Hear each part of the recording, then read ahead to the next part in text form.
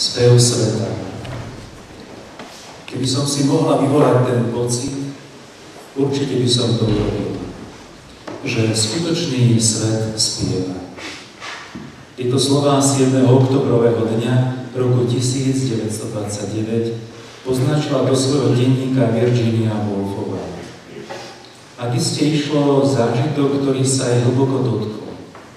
Nielen, že svet spieval, on bol spevný. Celý svet zvučal. Na to, aby sme zachytili spievanie sveta, je potrebné veľké ticho.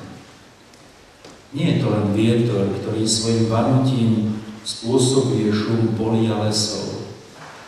Nejde iba o to, čo dokážem začuť vlastnými ušami aj nemá príroda sa zdá byť piesňou. Spieva o kráse sveta. Virginia Woolfová však zároveň priznáva, že pocit spievajúceho sveta si nedokáže sama vyvolať ani zadržať.